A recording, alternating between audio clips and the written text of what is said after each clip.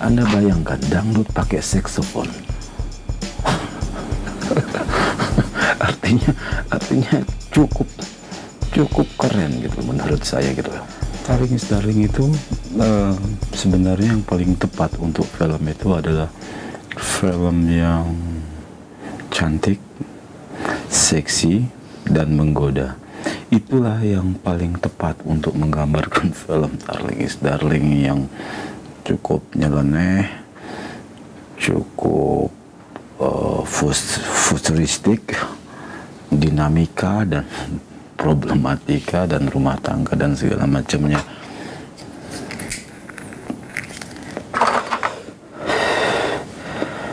Eh, kalau mau dibilang apakah film Darling is Darling itu film yang saya suka? Artinya semua karya yang saya bikin saya menyukainya.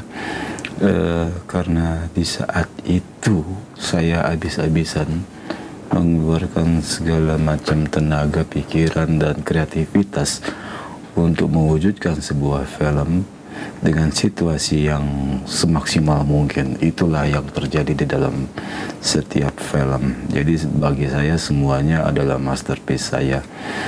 Dan entah kenapa uh, dari film Topeng Monyet, uh, Darling is Darling, Help is on the way, terus ada Homebound, itu uh, karakternya berbeda-beda di dalam setiap film. Apalagi nanti film Tatung itu cukup berbeda juga uh, uh, dari segi film gitulah. Uh, Topeng Monyet uh, berbeda dengan Darling is Darling. Darling is Darling adalah uh, saya ingin membebaskan semua pikiran saya. Saya mencoba dengan kejujuran dari hati nurani saya. Saya mau bikin film apa sih gitu loh. Apakah saya harus berpura-pura berkesenian ataukah saya hanya untuk berpura-pura biar dianggap uh, seorang filmmaker futuristik atau filmmaker apalah gitu kan. Artinya taring is daring adalah lebih kepada personal diri saya untuk menghargai diri saya apa yang saya mau gitu loh. Mampukah saya membuat film uh, itu? Dan kebetulan film itu memang film yang maaf maaf ya. Saya sebenarnya nggak suka juga kalau dibilang kampungan, tapi kalau kampungan yang keren saya suka. Artinya Taring is Daring adalah film yang kampungan, norak, tapi keren gitu loh. Tapi keren gitu loh. Tapi itu yang membahagiakan penontonnya. Gitu loh. Tanpa saya harus mengejat segala macamnya gitu loh. Artinya Hmm, Darling is Darling mendapat posisi yang bisa diterima di kalangan masyarakat tua, muda, e, perempuan dan segala macamnya. Yang paling hebatnya lagi adalah film itu lolos dari a judgment e, kaum wanita yang merasa tereksploitasi uh, mengenai perempuan gitu loh. Artinya begini, saya suka dengan Indramayu karena satu kota ini kesenian daerahnya itu hidup semuanya. Di sana ada panggung dangdut, dangdutnya itu mau yang full atau yang cuman organ tunggal, yang cuman satu organ dan satu penyanyi yang lebih uh, naik level lagi biasanya satu organ tunggal, satu gendang dan satu suling gitu loh. Kenapa gendang? Gendangnya pun gendang Sunda, gendang tidur gitu loh. Ceplak-ceplak gitu loh. Bukan gendang dari India yang dua loba yang dangdut gede. Dangdut itu itu India. Kalau gendang tidur kayak jaipongan, tek tek tek tek dung dung dung itu tuh uh, khas Indonesia sekali gitu. Kenapa organ? Karena organ masih belum bisa membuat suara gendang, apalagi gendang Sunda. Kalau gendang pasti orang mikirnya kalau yang untuk di keyboard ya di organ itu pasti kalau nggak Cina Jepang gitu loh. Nah suling pun itu organ masih belum bisa, belum mampu paling ada flute flute-nya Jepang sama uh, Cina gitu loh untuk flute bambu khas Sunda itu tuh belum ada programnya di di di organ itu. Karena itu kalau misalnya budgetnya agak tinggi dikit biasanya organ satu gendang dan satu lagi suling gitu naik level lagi itu bisa musisinya itu playernya itu ada sembilan bahkan di Tarling itu mereka pakai saxophone, electric guitars, uh, rhythm guitars, bass, drum, gendang, keyboard, kadang-kadang percussion. Anda bayangkan dangdut pakai saxophone. artinya artinya cukup cukup keren gitu menurut saya gitu Terus Oke, okay, itu baru segi entertainment bagian musik aja ya. Ada yang disebut tarling, tarling gitu loh. Artinya mereka bersandiwara tetapi diiringin musik, gitar dan suling dan gendang dikit lah. Ada lagi yang lebih level lagi yaitu sandiwara. Biasa mereka pakai baju gatot kaca, terus ada kiainya, ada setan muncul. Itu panggung sandiwara namanya. Dan diiringi musik-musik juga ada yang lebih ini lagi. Oke, wayang. Wayang kulit, wayang kulit toto. Wayang kulit toto. Terus ada namanya singa Depok. Biasa kalau orang sunatan, anak kecil sunatan dia suka di arak-arak pakai uh, yang ada boneka singa Depoknya itu. Singa Depok. Terus ada namanya sintren dan lain-lainnya. Dan ini hidup semua di Indramayu. Hidup semuanya dan eh, keseniannya ini selalu diorder oleh orang-orang yang mau bikin hajatan sunatan kawinan cerai lagi kawin lagi dan juga uh, peresmian rumah atau apa gitu. Kadang-kadang di badan latihan tenaga kerja TKW itu kalau ada pelepasan uh, misalnya angkatan ke 9 berangkat ke Korea besoknya. Nah malamnya itu mereka order panggung dangdut gitu loh.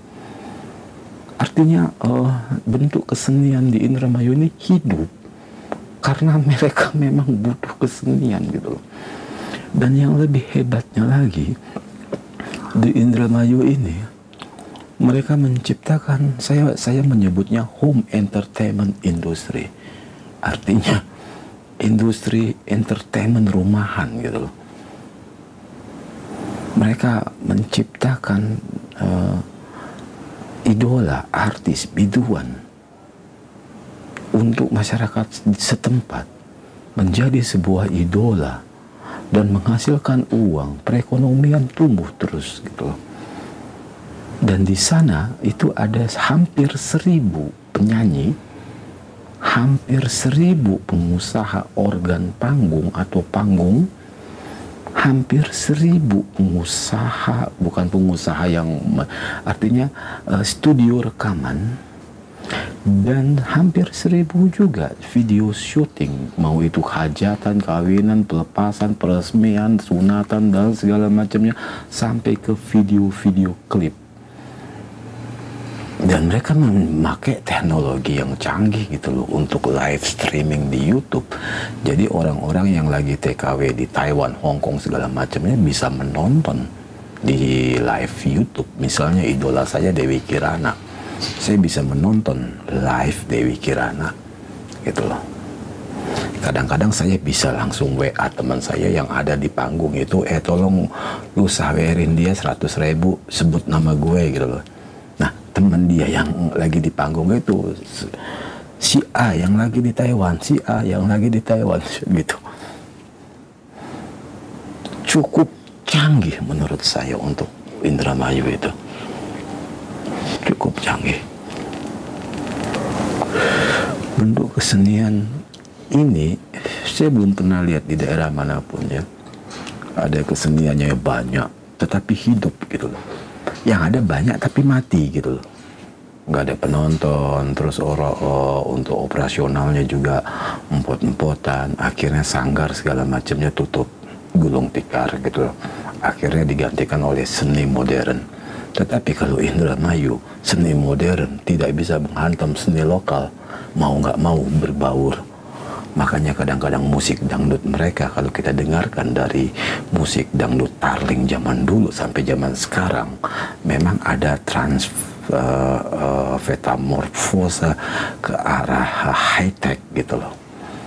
Karena teknologi tetapi mereka nggak meninggalkan dasar-dasar dari nada-nada uh, uh, musik uh, Tarling itu gitu loh. Artinya mereka cuma mengambil perkembangan. Dan mereka menciptakan lagu. Di sana lagu selalu muncul. Selalu muncul dan selalu muncul video klipnya. Nah video klip ini akan dijadiin DVD dan dijual ketika saat ada panggung. Misalnya saya Dewi Kirana. Nah saya juga jualan DVD saya album saya yang terbaru gitu kan. Orang-orang akan beli langsung gitu kan. Atau anda titip ke distribusi yang akan menggandakan nanti. Anda akan menggandakan DVD ini di glodok gitu loh. Percetakan DVD itu satu karton gini nih panjang nih.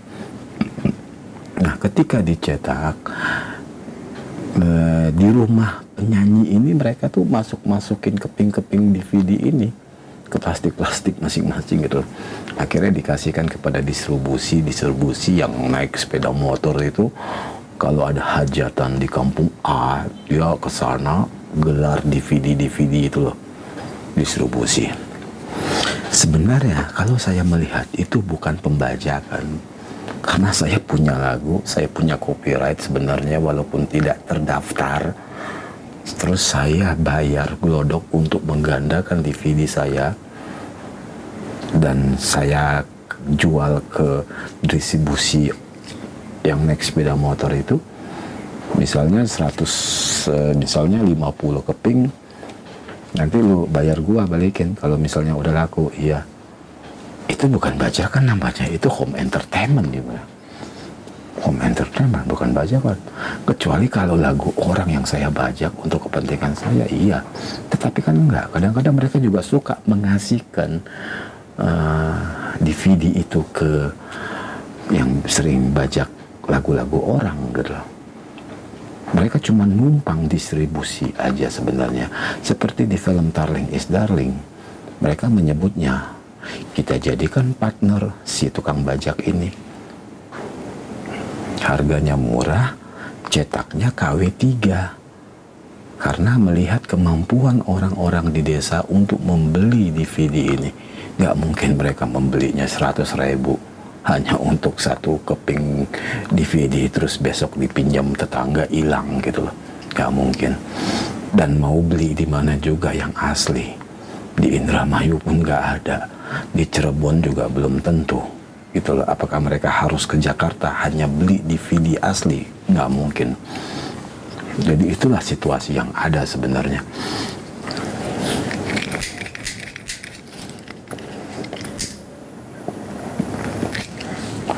Tapi sekarang perkembangan sudah mulai maju, mereka udah mulai tahu apa itu copyright untuk YouTube dan eh, kadang-kadang uh, mereka main di iTunes, terus kadang-kadang main di uh, eh, 45 segala macam itu. Mereka udah tahu itu, mereka bikin sendiri uh, copyrightnya. Uh, karena ada perkumpulan dan asosiasi uh, musisi dangdut Tarling di Indramayu itu. Artinya lebih bagus lagi mereka saat ini. Indramayu saya suka dengan karakter orang-orangnya. Agak-agak aneh tapi keren gitu loh. Produsernya yang seperti di film Darling is Darling, Kang Jaham seperti itu. Penyanyi-penyanyi juga seperti itu dan segala macamnya. Saya, saya, saya kalau masuk Indramayu itu teringat oleh film-film zaman dulu, tahun-tahun 80-an mengenai situasi kampung dan gaya kerennya orang kampung itu. Itu saya suka sekali.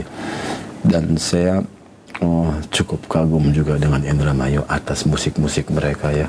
Bisa bertahan dan seperti itu. Bahkan saya pernah menemukan kepingan tarling ya, Indramayuan itu di Papua. Bayangin coba. Siapa yang bawa itu ke Papua? Bahkan waktu saya ke Taiwan itu ada juga yang jualan karena ada misi TKW kali ya Jadi barang itu dengan sendirinya akan nyampe ke Taiwan, ke Hong Kong gitu loh. Artinya home entertainmentnya mereka ini hidup gitu loh. Dan yang paling lucu lagi itu uh, ada namanya lokal TV, namanya Cirebon TV. Anda kalau punya video klip itu Anda cuma bayar waktu itu 300 ribu. 300 ribu uh, video klip itu akan diputar setiap hari sesuai dengan uh, programnya yaitu jam-jam tiga setengah empat lah uh, sore waktu itu. Selama sebulan gitu loh. Dan di video klip itu juga kita boleh mencantumkan kontak person.